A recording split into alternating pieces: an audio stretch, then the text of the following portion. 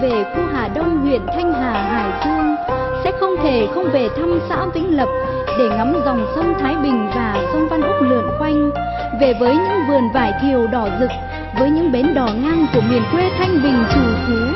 Đó chính là nội dung của bài hát Tình người Vĩnh Lập. Sáng tác nhạc, nhạc sĩ Xuân Tích, lời thơ của nhà thơ Nguyễn Đình Ánh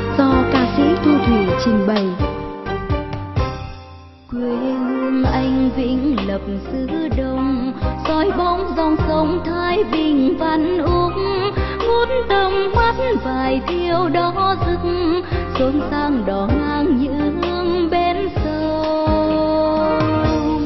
Về quê anh vĩnh lập xứ đông ngỡ trong mơ thôn thiệu thuần kiên tu.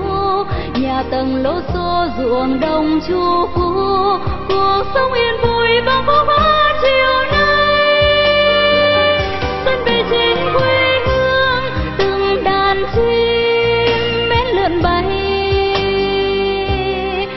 bát ngát đồng quê hương lúa thơm ngào ngạt.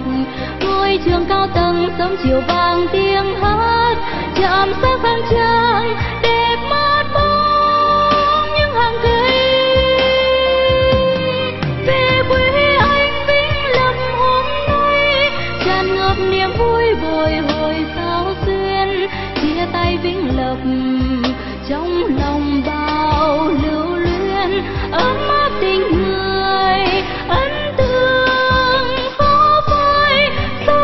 tình người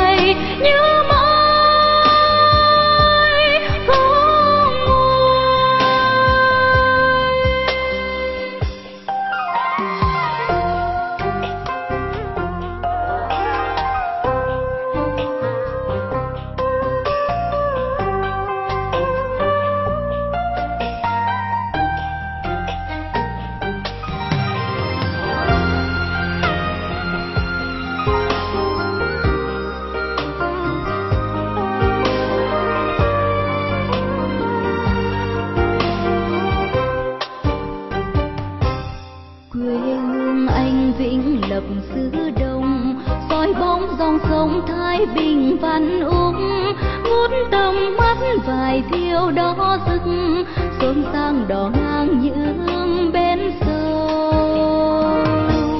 Về quê anh vĩnh lập xứ đông, ngỡ trong mơ thôn thiệu thuần kiên tu nhà tầng lỗ xô ruộng đồng chu phú cuộc sống yên vui bao có hát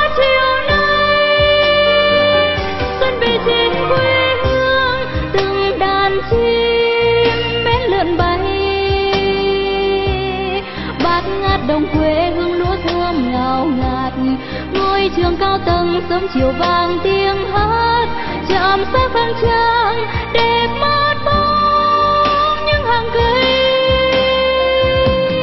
Về quê anh vĩnh lâm hôm nay, tràn ngập niềm vui bồi hồi sao xuyên, chia tay vĩnh lập trong lòng bao